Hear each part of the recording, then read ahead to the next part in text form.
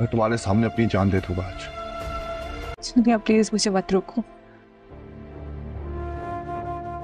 इनको दुख पहुँचा के मैं खुश नहीं रह सकता। तुम खुश हो?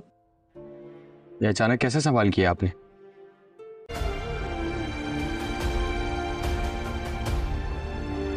सोनिया रहने दो मुझे जाने दो। मानूर मगर मैंने तुम्हारी खुशी के बारे में पूछा है। Are you happy?